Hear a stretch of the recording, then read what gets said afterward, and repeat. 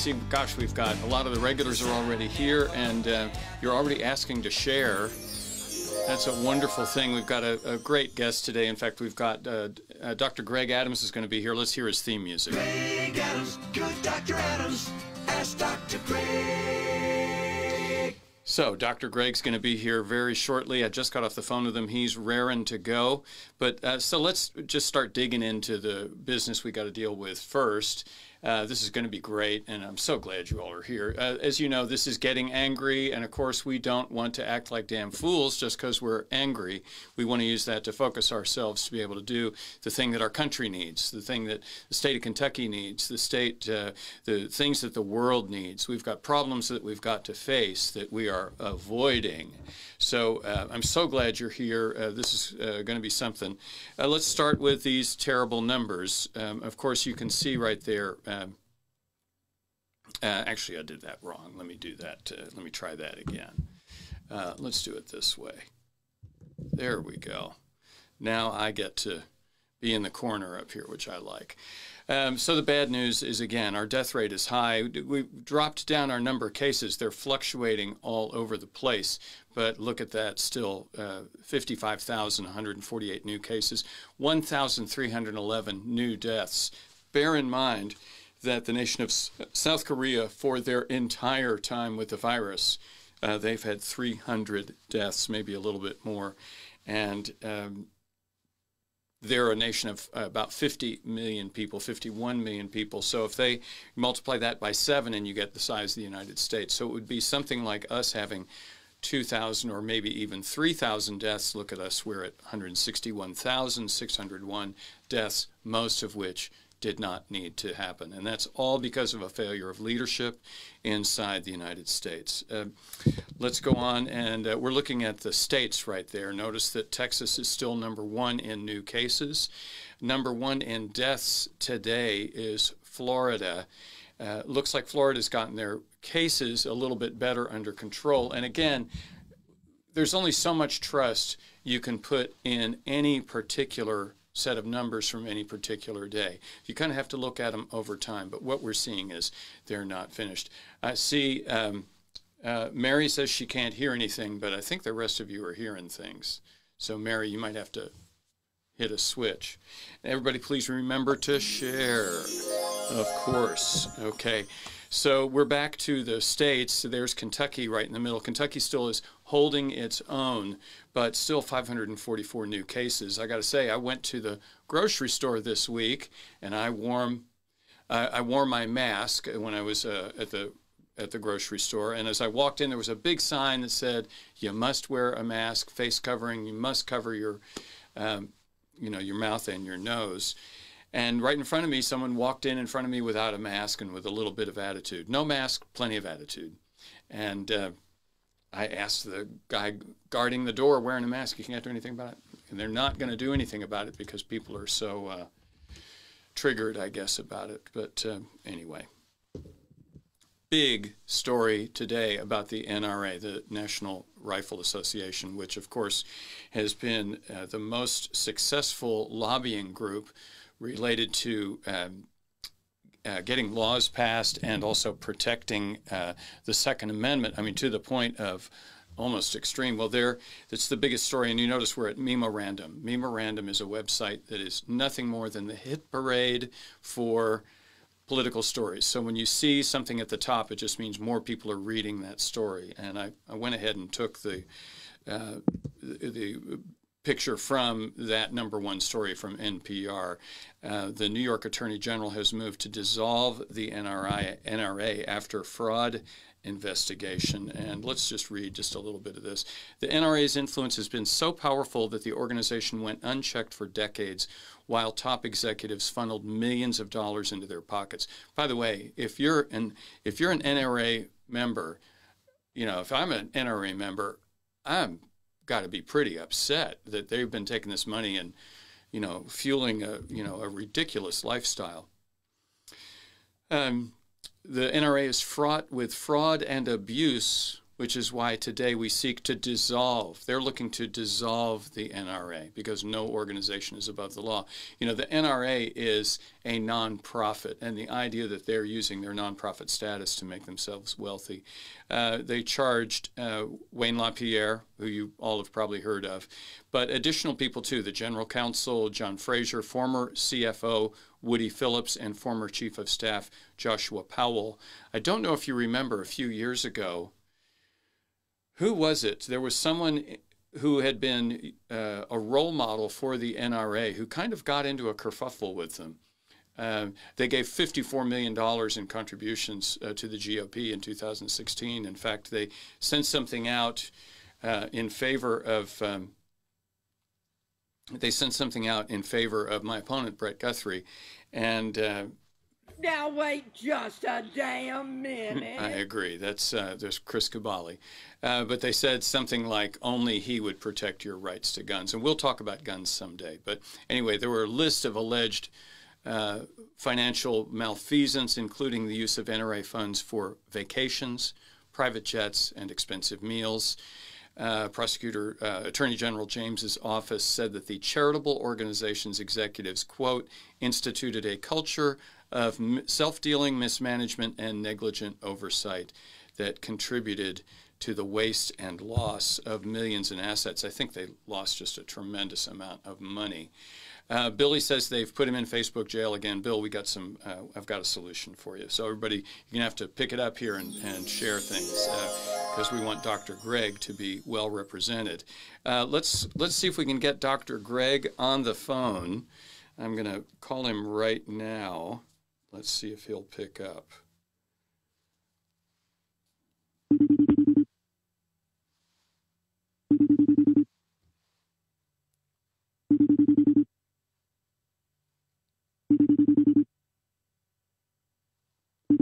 Uh-oh. Not sure what's going on. Dr. Gregg? Gregg Adams, good Dr. Adams, ask Dr. Gregg. Well, it says he's un- unavailable. Let me try him one more time. This happens. Hello. There you go. We had a, a misfire on the first time I tried to call you. I am here. How are things in Kentucky? The things are great in Kentucky. It's actually beautiful weather, and um, uh, I got to go out for a bike ride today, Dr. Gregg, because I, believe it or not, I work on these get togethers for several hours before we do them. And we had had a bunch of rain this week, so I didn't get many. Uh, I didn't get many times to exercise, and uh, it was good to get out this morning. But let's dig into it because I, I, wanted to talk to you about hydroxychloroquine. Can you, before yes. we, and you you and I have discussed a list of things we're going to go over, but can you tell us what hydroxychloroquine is first of all? What kind of medication is it? It's a it's a medication that we've we've known about for almost 75 years now. Uh, we use it for uh, medicate for diseases that are autoimmune type diseases or inflammatory type diseases. Um, it's used routinely in lupus. Um, it's used routinely in prophylaxis to prevent catching uh, malaria, for example. Um, it is a uh, a drug that was used early on in the the COVID epidemic pandemic because they found uh, some evidence in the petri dish in the laboratory that it may be effective, and that's usually how those stories start. Hey, it looks like it may work in the laboratory. Let's find out whether or not it works out there in public. And the, a couple of studies came out that showed that there was some benefit. But when we did the the controlled studies, when we really looked at it seriously, it didn't have any particular benefit in COVID patients. Right.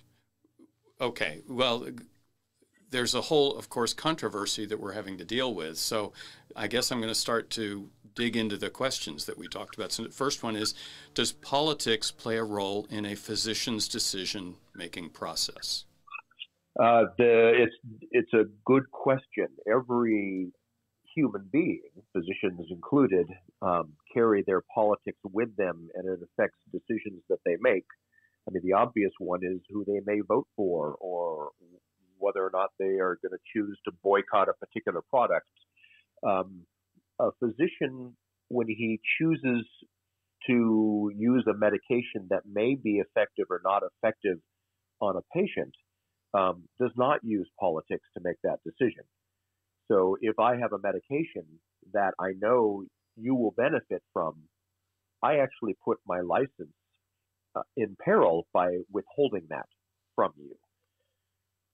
Well, that's that seems clear enough. You're going to use the science, and you're going to use what you've learned and experienced um, to choose what medication is correct for your patient. Absolutely. All right. So number two, if I'm a patient and I show up and I've heard that hydroxychloroquine might be good, right? That that might be good for me to try for if I sh- show up with whatever illness I've got and I ask you for a specific medication. Can I demand that from you? Can can my family ask if I'm incapacitated? So yes, you could always ask. the The issue is that that I still am bound by what information I know as to whether or not a medication is effective. So imagine if you were a car mechanic and you brought your Toyota into the car mechanic and you said, I think my Toyota would work better if you used Camaro clutches or Corvette headlights. And your mechanic would say, that doesn't work here. We have to use things that are effective for what you have. Um, when someone comes in with a, a disease, and I know that there are effective medications or treatments, and there are medications that are not effective, you get no benefit. I get no benefit by prescribing a medication that doesn't work. So that means that the messaging, when we're getting messaging from politicians about medications, we've really got to take them with a grain of salt. I think so. I think that you ought to use the same tools that we use to make a decision of whether or not a medication has effectiveness in a disease. The, the problem, I think, is getting muddied because there are physicians who are touting hydrochloroquine as a, uh, not just a treatment, but a cure. And as you dig into their backgrounds, you find the the unfortunate um, example of the woman who who was associated with saying that hydroxychloroquine is a cure is a physician and a minister, and then she got associated with all sorts of very bizarre, erroneous other sorts of thoughts, um, which was dreadful that she said use this medication. It's also dreadful to say that there are doctors out there that you, you have to assess whether or not they're telling the truth, whether or not they're they have some other agenda uh, involved. So I have to go back and look at all of the studies and say, what, how do we how do we assess this? How does medicine assess whether or not a drug is good or bad in any given scenario? Because well, it's confusing. You just brought up studies, and there have been supposedly. I think there were some studies. There was one out of France early on. Was that uh, Didier? Was that his name? Uh, yes. Uh, that seemed to it made it appear that hydroxychloroquine was effective. Correct. Uh, and this is how any good idea gets started. It gets started in the laboratory. Hydrochloroquine had some benefit in, in stopping the virus in a petri dish. And so you say, all right, let's try it in people. And in, uh, in very sick people, there was some early data that was very encouraging. But the way we look at data is we say, okay, so that's this study has this limitation. It didn't look at a control group who did not receive the medication, or this didn't have enough uh, patients in it to really make that sort of statement. And so you wait for a bigger study that has properly controlled and shows clear benefit. And uh, we call it a prospective study where we actually start the day saying the next patient that comes in does or doesn't get hydrochloroquine. And then you use those data as they become more and more available. The, the problem is that the early studies then get disproven by the bigger, better controlled studies, and then you have to say, oh, well, I guess that's not going to be an effective way to use this medication. And even um, Dr. Fauci was a believer at the very beginning, but as the data came in, he finally looked at the data and said in late July, we know that every single good study, and by that he means a study that was randomized and controlled, in which the data were firm and believable, has since shown that hydrochloroquine is not effective in the treatment of COVID 19. So, is that, as far as medical science is concerned, that's the end, the answer as far as hydroxychloroquine goes, right? For for now. For The, now. Okay. Um, a- And and uh, the other component of this is this is a time of great uncertainty. This is a time of great fear. I think that it's normal and um, completely human to say I want to be sure of something. I want to I want to I want to find something that I can hang my hat on. Right. And hydrochloroquine was something we thought we could hang our hat on early on, and then we find out no, that's another piece of shifting sand, and it makes us feel more unsure. Hydro, uh, hydroxychloroquine is a great medication for some some diseases. Now, now, it also sounds like there's a possibility that in the future you might find that hydroxychloroquine combined with something else might be effective. Yes, yes, yes, yes. And so we just keep looking at it. Okay. So the the next question is how did this get to be political? Was it political to begin with or do we simply not know about this medication? How did this become something you know before this I didn't know how to say this word, but now I know how to say hydroxychloroquine and I think the rest of the United States does as well. So how did this get political? Uh, it. It became political when politicians started making recommendations for medication. Right. Now it's a political thing. Uh, if uh, and uh, uh, President Trump does not call me for advice, Every time we say Trump, I have to play the Wilhelm scream. So outstanding. Uh, he does not call me for uh, advice on politics and governance, and I don't call him for advice on medicine. Uh, you you want to leave the the experts dealing with what they're experts in. When politicians start recommending medications, you begin to think that there may be other motivations behind that. I don't know what those motivations are. I don't know if it's money. I don't know if it's control. I don't know if it's simply uh, a, an attempt to divert attention away from other things that we should be paying attention to. yes. Well, it may also be wishful thinking. You I, know, I like wishful thinking. Now that, and that's all- every scientist that studies this has that wishful thought. I hope this works. right. We all want this to go away. Uh, next is why is any study not conclusive? When is a study conclusive? Um, and we talked a little bit about that um, when we talked about the different types of studies. When you first think that it would be interesting to study a medication, you have an idea that it may be effective because of some piece of information. Someone used it and there was a good outcome. And you think, wow, maybe that'll be an interesting thing to study.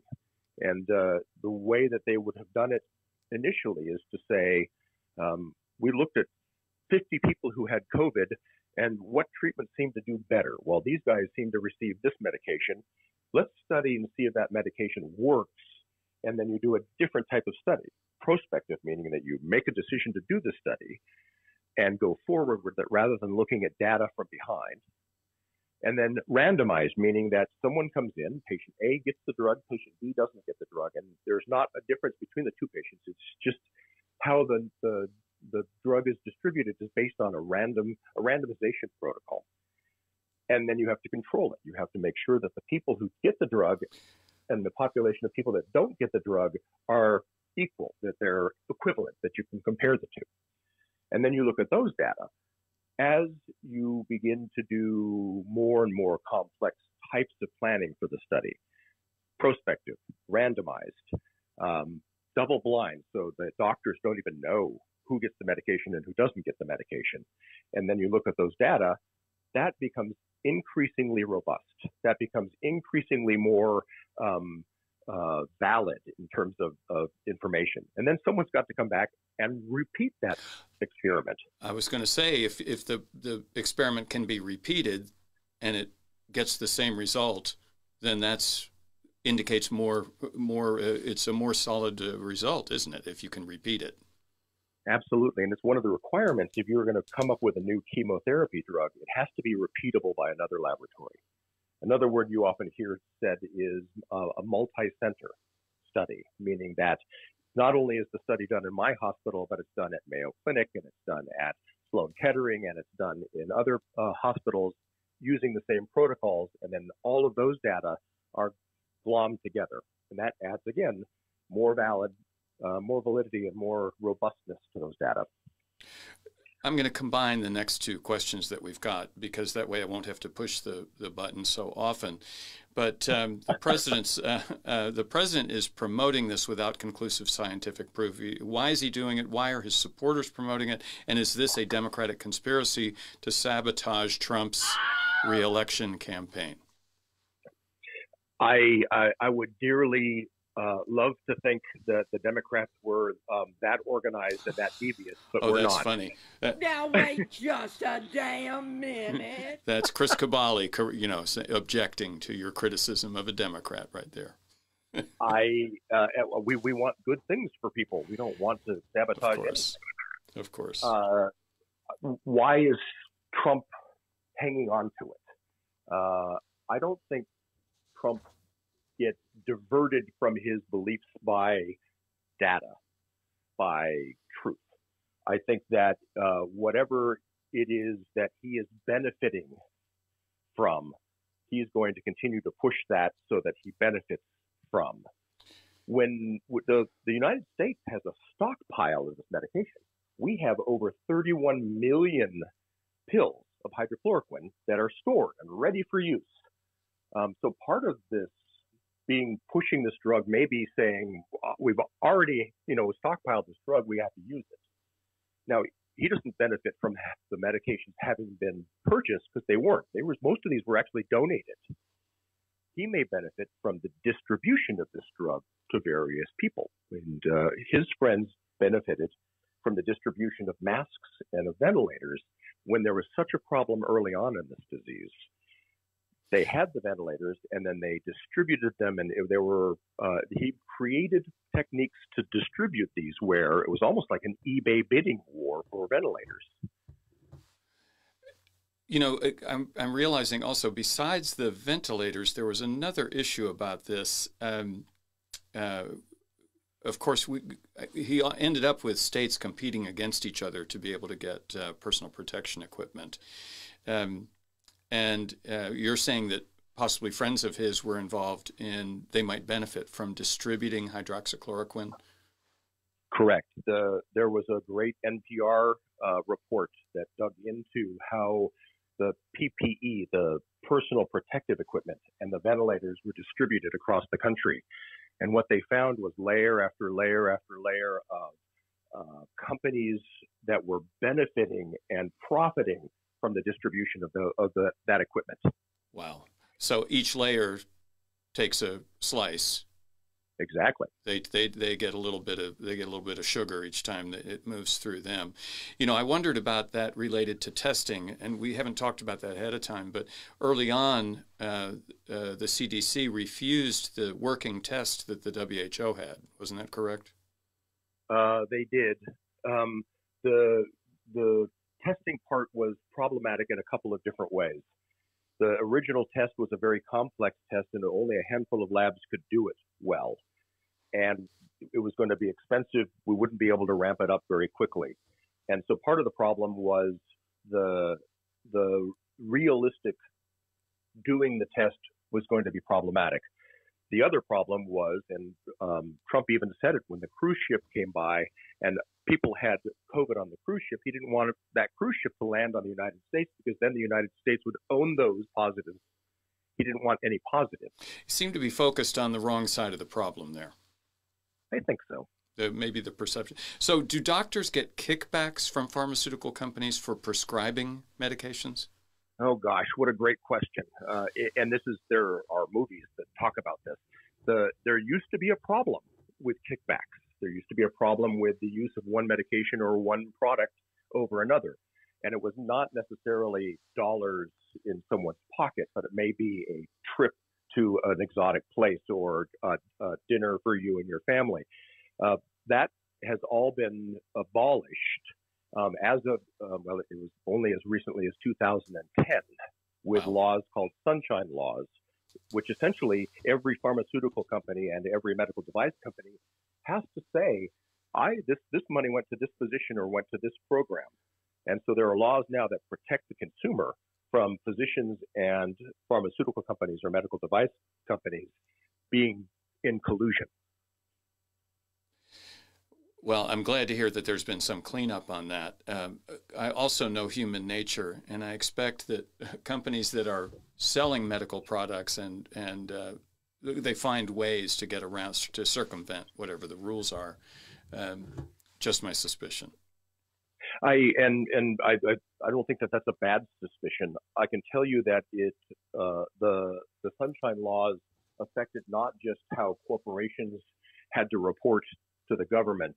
It also affects how federal dollars are spent on hospitals. And so a hospital, if they hire physicians, have to have policies in place where no gifts are received, no junkets are taken, no meals are delivered from pharmaceutical corporation. And in fact, they've taken physicians out of negotiation committees and decision making processes where one drug or one device may be chosen, that hospital. So we all want this pandemic to end. We, we want to get better faster. I mean, everybody's getting really sick of this. You know, this. Uh, we we want society to open. We want to be able to open businesses. We're trying to open schools, and so far that's uh, going uh, disastrously.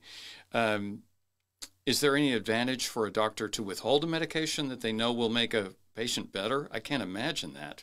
Why would a doctor? No. No, there's there, there's no advantage. The, Okay. If you have a medication in your armamentarium and you know it's going to work for a particular patient or a particular disease, you are. It's not just honor bound. It's not just the right thing to do. You you actually have a, a legal responsibility to make that available to them. Right. Okay. So you know you're fulfilling your oath. You know what is it? First, do no harm. Yes. and and basically to help us be healthy, help us get better. Uh, uh, we have a question in the comments actually from my wife, and she says, "What is Dr. Gregg's opinion of TV advertising of drugs?" Ah, interesting. Yeah, that and that's been around for a long time. Yeah. The uh, all that is is an advertisement looking for patients from a pharmaceutical corporation. So there's no doctor who wants this to happen because all of those commercials end with "Ask your doctor," Right. uh, which means that someone's going to come in and say, "I heard about this drug. Do I have this disease?" They're shopping for people who may have a symptom. And if they have a symptom, they know that they're going to increase their population of people that may benefit from this drug, whatever it is they're selling. And so while I'm all for the education of the population, um, they're not advertising that you should do better testing your blood sugar so that you can keep your diabetes under control. They're saying take my drug to keep your bi- your your um, your diabetes under control. So it's always based on whether or not they can get more customers. I don't mind that someone is now thinking about depression or someone's now thinking about hair loss or someone's thinking about whatever it is that they're advertising. I like the idea that they can come to me and I can fill in the rest of the gaps of that conversation. So that's helpful. It's just that we don't do that for all diseases. We only do that for the ones we have drugs for.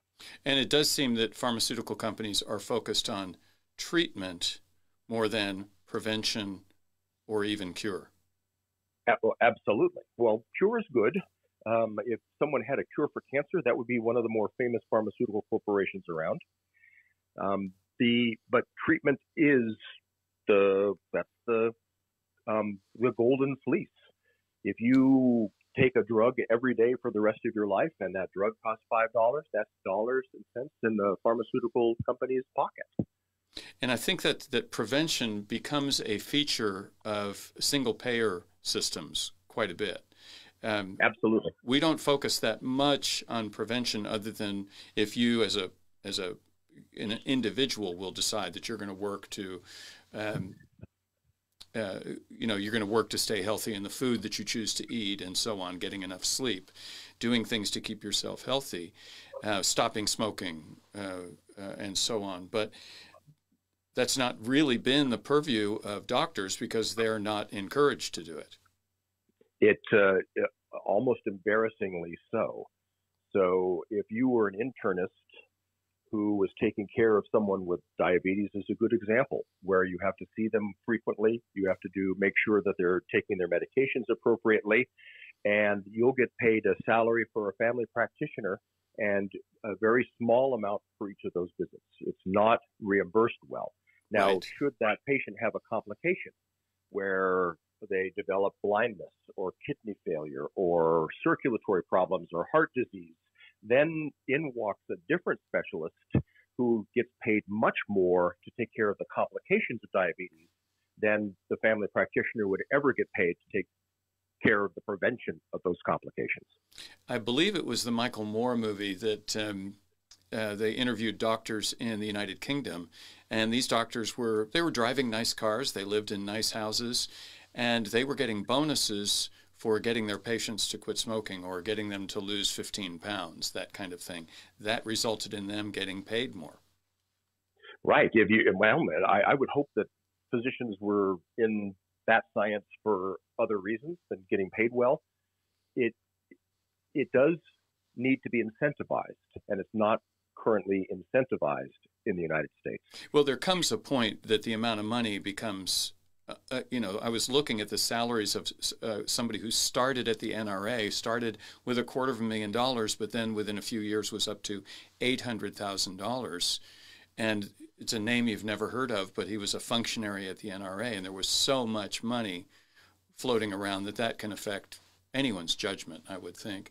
Uh, Bill McNichol asks, "What are your thoughts on a single payer system, or is it?" Uh, is there uh, is that an entirely new and different episode? It might be. Maybe we should talk about single payer some other time. But uh, I, I, I, think it, I, am a, a, huge fan of it because I think that get, people ought to be healthy and we ought to do prevention, and that's the way to do it. Uh, but there's so many uh, there are so many forces that are opposed to it, uh, who are taking money out of the, the the kitty before it actually gets deployed to taking care of patients. Right. You know, another subject, I, I, you know, there's good news, by the way, everybody who's listening. Uh, Dr. Gregg is going to be uh, trying to be with us uh, once a week, is what we're aiming for. And uh, one of the other subjects we're going to be discussing is addiction. if you were listening yesterday, uh, we had a comment uh, from a gentleman whose son had overdosed the night before. And, you know, it's a tragic thing and it's a tragic issue throughout the country, but very much so here in Kentucky. And we are not dealing with addiction very well, but that will be another episode. And Dr. Gregg, thank you so much for giving us your time and your wisdom. We really appreciate it. And, um, uh, I, am glad you like your theme song. Randell and Luann, thank you for doing that. Um, you said your family members were pleased with the theme song. Yeah, uh, yes, uh, I, I, am. I'm still trying to to put this in perspective. You know, I've always tried to be um, a respectable human being and a, a, competent physician, and I never thought that having theme music went along with that, but I guess it does. well, that's so great. Thank you, Gregg. and we will talk to you next week. And thank you so much. I'm going to play your theme music on your way out and then say goodbye to everybody. All right. Thank you. And thank you for what you're doing, Hank. This is wonderful. Oh, I, I appreciate your help. Thank you. Adams, good Dr. Adams, ask Dr.